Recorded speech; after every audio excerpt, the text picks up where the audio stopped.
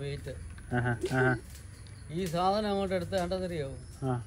വണ്ടിയിൽ നിന്ന് ഇറക്കിയിട്ട് ഫോർക്കിൽപ്പിന്റെ ഫോർക്കിൽപ്പിറ്റ് അറിയാം ആ അതെ അതെ അതെ. അതിന്റെ കയ്യിലോട്ട് ഇറക്കി കൊടുക്കും. അവൻ കീഴ്ക്കൊണ്ട് വെക്കും. ഞങ്ങൾ മറിച്ചിട്ടിട്ട് ഞാൻ ചമച്ചൂടാ ഈ സാധനമൊക്കെ ഇരുന്നൂറ്റി നാൽപ്പത് കിലോ ഉള്ള സാധനം എത്രയേ ഉള്ളൂ. ആ. ഇങ്ങോട്ട് അന്നത്തെ ആരോഗ്യത്തിന്റെയാ ആ. ഇങ്ങനെ അങ്ങോട്ട് പിടിക്കും. പിടിച്ചിട്ട് ഇങ്ങനെ കമത്തി അങ്ങോട്ട് ഉരുട്ടി ഇല്ല അതിന്റെ കയ്യിലോട്ട് ഉരുട്ടിക്ക് വരും. വേറെ കുഴപ്പം തരുമോ അടിയിലത്തെ ലെയറുണ്ട് അതിന് മേളിലായി താമാണ്. നാല് വീപ്പ് ഇങ്ങനെ ഇരിക്കുമ്പോൾ നാല് വീപ്പ് ഇങ്ങനെ ഇരിക്കുക. ഇതിനിടയ്ക്ക് ഗ്യാപ്പ് ഉണ്ടല്ലോ.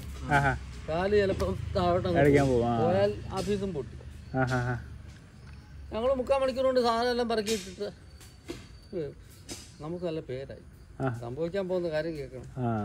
ഇതിന്റെ സ്മെല്ല് പെയിന്റിന്റെ സ്മെല്ല് ഭയങ്കര ആ. ഒരു മാസമായി കഴിഞ്ഞപ്പോൾ എന്നെ കണ്ടിട്ട് ആളറിയാൻ മേത്ത മട്ടായി.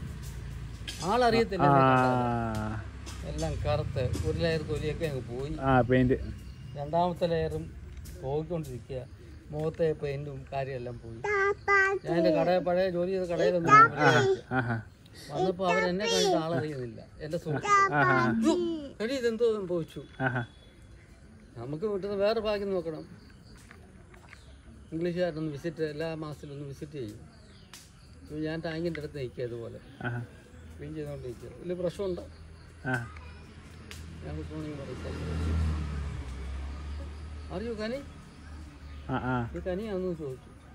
കനി ആവശ്യം ഇപ്പം മാറി. ഇയാൾ എന്തോ ഒരു കലി ഇളകുന്ന പോയി എന്നോട് പറഞ്ഞു? നിനക്ക് ഈ പണി കൊടുക്കാനാണ് എന്നോട് പറഞ്ഞു. അയ്യൊക്കെ കിട്ടി വലിയ ഈ പണി എന്നോട് പറഞ്ഞത്. പണി പറഞ്ഞു എന്നെ പിടിച്ച് പാക്കിങ്ങിൽ ഇട്ടു പാക്കിങ്ങിൽ ഇട്ട് കഴിഞ്ഞപ്പോഴത്തേക്ക് ഞാൻ അവിടുത്തെ രാജാവായി. ഇരട്ടി പണിയാ. അപ്പം ഗ്രൂപ്പേ ഉള്ളായിരുന്നു അവിടെ. പാക്കിങ് രണ്ട് ഗ്രൂപ്പാക്കി. എനിക്കൊരു ഹെൽപ്പറേയും കൂടെ തന്നു. പണിയ മോളിൽ നടന്നു. നടന്നു അങ്ങനെ നിൽക്കുമ്പോഴാണ് എന്നെ ഇയാൾ സെയിൽസിൽ വെച്ചു സെയിൽസില്ല എം എല്ലിന്റെ കുറച്ച് കഴിഞ്ഞാൽ സെയിൽസ്മാനായിട്ട് അവിടുത്തെ സെയിൽസ് ക്യാബിനകത്ത് വെച്ചു കുഴപ്പം അത് ഇതെല്ലാം നാശം ഇതാണെങ്കിൽ പാക്ക് ചെയ്താൽ മതി. കണക്കും കാര്യങ്ങളെല്ലാം വരും. ടൈപ്പ് റൈറ്റിംഗ് അറിയണം. ആ. ടൈപ്പ് റൈറ്റിംഗ് ആ ഞാൻ ടൈപ്പ് റൈറ്റിംഗ് മേടിച്ച് വീട്ടിൽ നിന്ന് പഠിച്ച് ഞാൻ അടിച്ചുകൊണ്ടിരുന്നു പ്രശ്നമൊന്നല്ല ആറ് ഫോൺ അയക്കുന്നു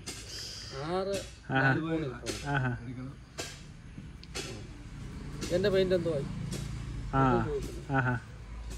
കോപ്പ് അടിക്കുന്നു അടുത്ത് മറ്റേ അടിച്ചോണ്ടിരിക്കുക. സാറേ ഞാൻ ചെക്ക് ചെയ്തിട്ട് പറയാം. എന്ന് പറയുമ്പോഴത്തേന് അടുത്ത് അടിച്ചു അപ്പോൾ അത്രയും നേരം അടിച്ചില്ല മറ്റേ അടിച്ചോണ്ടിരിക്കുന്നു അവൻ വിളിച്ച് നേരെ ഇംഗ്ലീഷുകാരനെ വിളിച്ച് പറയുന്നു എന്റെ സെയിൽസിലിരിക്കുന്നതാണ് ആക്റ്റീവ് അല്ല. ആക്റ്റീവ് അല്ല. ഞാൻ അഞ്ച് മിനിറ്റ് റിങ് ചെയ്തിട്ടാണ് അവനെ കിട്ടിയത്. കിട്ടിയപ്പോൾ അവനും കറക്റ്റായിട്ട് ഉത്തരവല്ലാതായിരുന്നു ഇതെനിക്ക് ചെക്ക് ചെയ്തിട്ട് വേണം പറയാൻ. സാർ അവരുടെ പേര് ശരിയായോ? ചെയ്തിട്ട് ഞാൻ റെസ്റ്റോറന്റിൽ ഫോൺ അടിക്കുന്ന പോലെ. ഈ സാമാനം ഇത്ര ആയപ്പോഴത്തേക്ക് എനിക്ക് തലവേദന. അതിന്റെ ഇടയ്ക്ക് ടൈപ്പ് അയച്ചു അപ്പോൾ നമുക്ക് വേറെ അനുകൂലം പറ്റി.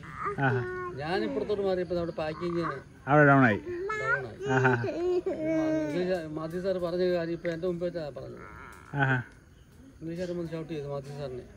എന്തുകൊണ്ടാ? അവിടെ പെയിന്റ് കൊടുത്തില്ല. സാറേ എന്റെ പാക്കിംഗ് ലൈനിലെ ലയണായിരുന്നു കനി. സാറ് അദ്ദേഹത്തെ പിടിച്ച് അവിടെ ഇരുത്തി കഴിഞ്ഞാൽ പിന്നെ ഇങ്ങനെ ചെയ്യാൻ പറ്റും? ഇങ്ങനെ ലയണ എന്നൊരു വേർഡ് അയാൾ ഉപയോഗിച്ചു. ഞാനിവിടുന്ന് എങ്ങനെയും മാറിയാൻ പറഞ്ഞു ഓക്കെ ഓക്കെ ഓക്കെ. അപ്പോഴത്തെ ഇംഗ്ലീഷുകാരന്റെ അടുത്ത് വന്ന് പറഞ്ഞു I like to go back back to packing okay yes sir ഞാൻ കൈ ഊരി കെട്ടി ആ. ഞാൻ വീണ്ടും പാക്കിങ് വെച്ചു. അങ്ങനെ ശരിക്കും ഷൈൻ ചെയ്ത അവിടെ. എത്ര വർഷം നിന്നു അവിടെ എമ്പലിന് എട്ട് കൊല്ലം. എട്ട് കൊല്ലം. എട്ട് കൊല്ലത്തെ ആ സമയത്ത് വീട് പണിയൊക്കെ നടന്നില്ല? പഴയ വീട് പണി പഴയ വീടുപണി അന്നത്തെ ആ കാലം ആ, സമയത്ത് അത് കഴിഞ്ഞിട്ടാണ് അവിടെ ചെറിയ ഇഷ്യൂ ഉണ്ടായി. ഞാൻ ഇനി വന്നു. പാകിസ്ഥാനായിട്ട് കയറി കോട്ട് വിളിച്ചു ആ ഞാൻ കൊടുത്തു അല്ലയോ നടക്കത്തില്ല. ആ. അലോടും അല്ല അല്ലയോ ആ ആ. അല്ല ഞാൻ എനിക്കിതുപോലെ അവിടെ യു എസിലെ കമ്പനിയിൽ കിട്ടിയായിരുന്നു. ഈ കണ്ണാടിയിലല്ലോ? Cooling glass cutting. ഓക്കിലി എന്ന് പറയാം യു എസ് കമ്പനി. ഞാൻ കുറച്ച് ഒരു വർഷത്തോളം വർക്ക് ചെയ്തായിരുന്നു അവിടെ. വർക്ക് ചെയ്തപ്പം അവർ പറഞ്ഞു "ഈ കണ്ണാടിക്ക് പെയിന്റ് അടിക്കുന്ന സെഷനിലേക്ക് തന്നെ വിളിച്ചു. എന്റെ പറഞ്ഞ് രണ്ട് ഡോളർ എക്സ്ട്രാ ആയിരുന്നു പറഞ്ഞു.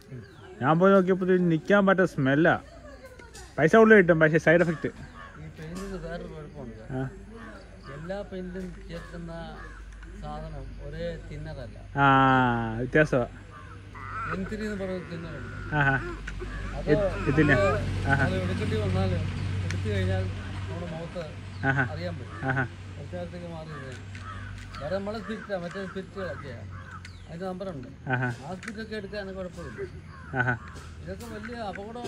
പെയിന്റിന് ഭയങ്കര പ്രശ്നമാണ് ഭയ-